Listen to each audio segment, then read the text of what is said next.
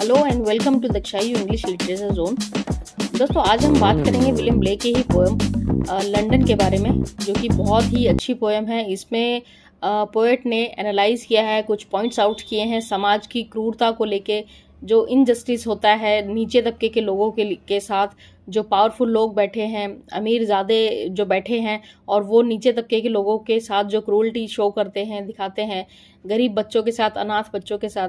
तो ये जो पोएम है ये इस बारे में है। बहुत ही अच्छी पोम है। तो चलिए शुरू करते हैं इस पोम को लंदन जिसका टाइटल है।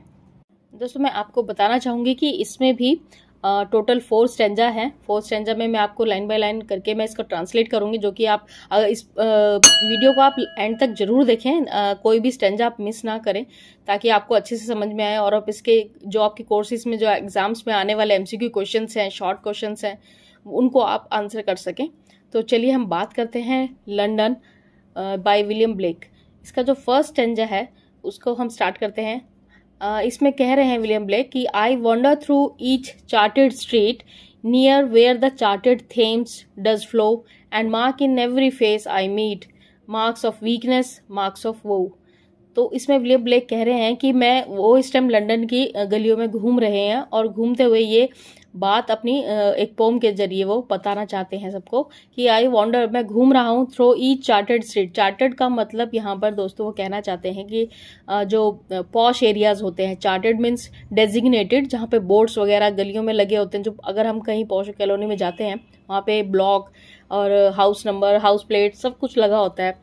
लेकिन अगर किसी आप लोकल सोसाइटी में लोकल लोकेलिटी में जाते हैं तो वहाँ पर ऐसा कुछ नहीं लिखा होता है। तो चार्टेड का कहने का मतलब मतलब उनका ये है कि वहाँ पर चार्टेड जो स्ट्रीट है अच्छी अच्छी गलियाँ हैं, उनमें वो घूम रहे हैं। Near where the chartered Thames does flow जो हाँ वहाँ पे लंदन की आपको पता होगा, नदी थेम्स जो वहाँ पर बहती है। जैसे यहाँ पर गंगा एक होली रिवर है, वहाँ पर भी थेम्स बहुत ही बड़ी, सबसे बड़ी नदी है थेम्स लंदन की, और वो बहुत होली भी मानी जाती है, पवित्र मानी जाती है। तो वो कह रहे हैं कि नियर वेयर मैं वहाँ पर भी घूम रहा हूँ, जहाँ पर पवित्र थेम्स नदी बहती है। And mark in every face I meet और वहाँ के लोगों के फेस पे जो भी मार्क है, मैं उन सबसे मिला। लोगों के फेस रीड कर रहे हैं वो वो घूमते हुए देख रहे हैं। जिनके जिनके फेसिस पे वो क्या पढ़ते हैं? मार्क ऑफ़ वीकनेस कमज़ोरी के निशान है। मार्क ऑफ़ वो थकावट के, वो वो देख रहे हैं कि लोग कितनी मायूसी से यहाँ पर घूम रहे हैं, इधर और उधर। और वो घूमते घूमते इस पोम को बयां कर रहे हैं। सेकेंड स्टेंजर में in every cry of every man in every infant cry of fear in every voice in every ban the mind forged manacles I hear तो वो कहते हैं कि in every cry of every man हर किसी इंसान की cry वो सुन पा रहे हैं फील कर पा रहे हैं। इन एवरी इन्फेंट क्राई हर वो नया बच्चा जो इन्फेंट बच्चे होते हैं, डर से पैदा, जब वो पैदा होते हैं, उन्हें अपनी माँ से जुदा होने का डर होता है कहीं ना कहीं वो पैदा होते ही रोते हैं बच्चे। तो हर उस इन्फेंट की क्राई वो सुन पा रहे हैं। वो इतना कनेक्ट कर पाए हैं अपने को लंदन सिटी से। इतना कनेक्ट हो रहे हैं और घूम रहे हैं और लोगों के फेस रीड कर रहे हैं और बोल रहे हैं इन एवरी वॉइस हर किसी की वॉइस में सिर्फ़ कोई ना कोई बैन है। किसी ना किसी चीज़ को लेकर नो है। नो मीन्स कि वो उनके साथ हो रही ज्यादती या उनके साथ जो भी हारसमेंट हो रही है किसी को जॉब की परेशानी है किसी को आ, क्रूअल्टी है दूसरों की कोई इन्फिनिटी कॉम्प्लेक्स से पीड़ित है तो सब लोग कहीं ना कहीं रो रहे हैं, उनकी क्राइज वो सुन पा रहे हैं। The mind forged manacles I है वो कह रहे हैं, सबके दिमागों में फोर्स फोर्सफुल्ली लगी हुई है मैनेकल्स मैनेकल्स दोस्तों जंजीर को कहा जाता है, जो लोहे की सलाख जंजीरें होती हैं। उनको बोल रहे हैं कि लोगों ने अपने आप को कहीं ना कहीं एक दूसरे की मजदूरी में बांधा हुआ है, अपने आप को, अपनी आज़ादी को बांधा हुआ है मैनेकल्स में, जो कि वो सुन पा रहे हैं, उसको फील कर पा रहे हैं। थर्ड स्टेंजा में वो कहते हैं how the chimney sweepers cry every blackening church appals and the hapless soldier's sigh runs in blood down palace walls वो कहते हैं how the chimney sweeper chimney sweepers होते हैं, वहाँ की जो चिमनियाँ हैं लंदन में बहुत ज़्यादातर चिमनी का लोग यूज़ करते हैं, घरों में भी, क्योंकि वहाँ पर स्मोक आग लगाते हैं तो जो उनका स्मोक है वो घरों से बाहर जाता है, वहाँ पर ठंड ज़्यादा होती है।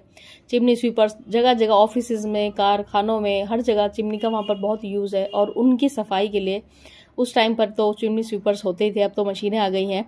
तो वहाँ पे छोटे बच्चों से, क्योंकि उनके होल्स बहुत छोटे होते हैं तो बच्चों से वहाँ पे जो अनाथ बच्चे होते हैं उनसे सफ़ाई करवाई जाती थी।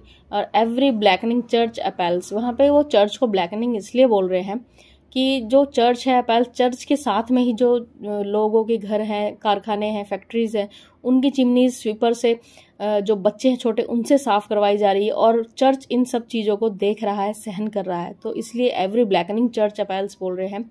And the hapless soldier's sigh runs in blood down palace walls और वो कह रहे हैं कि इन अमीर जातों के जो महलों में रहने वाले इनकी सुरक्षा के लिए जो हैप्लेस सोल्जर्स हैं, उनकी हम जैसे थक जाते हैं और वो एक ठंडी सांस लेते हैं, उनकी ठंडी सांस को भी वो महसूस कर रहे हैं। उन जो सोल्जर्स हैं वो अपना ब्लड शेड कर रहे हैं, खून बहा रहे हैं उनकी सुरक्षा में, लेकिन उन्हें कोई असर नहीं है।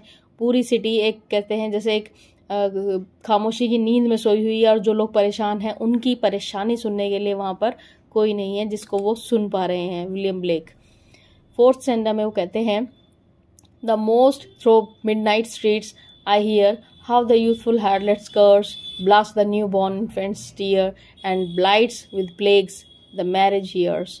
ये क्रिटिकल एनालिसिस आप समझ लीजिए ब्लेक की तरफ़ से इस पोम में लंदन में जब वो कहते हैं कि सबसे ज़्यादा क्रूल्टी वहाँ पर उनको जो देखने को मिल रही है वो है but most through midnight street जब आधी रात होती है और जो वो सुन पा रहे हैं कि हाफ़ द यूथफुल जो वहाँ का यूथ है, वहाँ के यूथ गर्ल्स हैं लड़कियाँ, वो प्रोस्टिट्यूट बन गई हैं, और तो वो कर्ज कर रही हैं। जैसे मिडनाइट होती है, उनकी जो मजबूरी है, वो उसको कर्ज में अपनी पूरी सिटी को वो कर्ज कर रही हैं। Blast the new born infants उनके जो बेबीज़ हो रहे हैं, उनके लिए खाने पीने की कोई सुविधा नहीं है, कुछ नहीं है, वो क्यों हो जाते हैं उनकी मजबूरी के फ़ायदे से? तो उन उन बच्चों को भी वो कर्ज कर रहे हैं कि तुम क्यों पैदा हुए हो?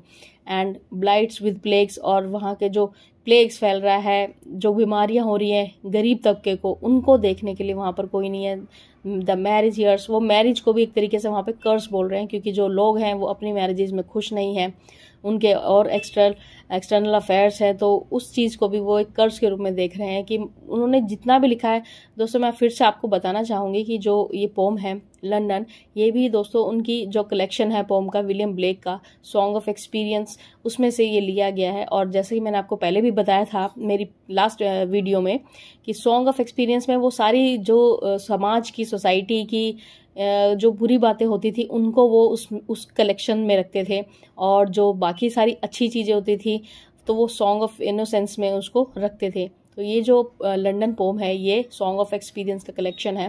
दोस्तों, इतना डीपली मैं आपको इसलिए बता पाती हूँ ताकि आप इस चीज़ को अपने दिमाग में ज़रूर रखें, याद ज़रूर रखें और इस मेरी वीडियोस को प्लीज़ अंत तक ज़रूर देखा करें ताकि मैं आपको इनके एम सी कुछ, अभी मैं नेक्स्ट वीडियो बनाऊँगी इससे रिलेटेड लंडन पोम से रिलेटेड उसमें मैं इसकी जो भी फॉर्म है, जो भी राइमिंग है, वो सब डिस्कस कर दूँगी और इसके कुछ एम सी भी मैं आपको बता दूँगी।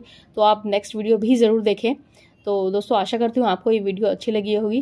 Thank you so much take care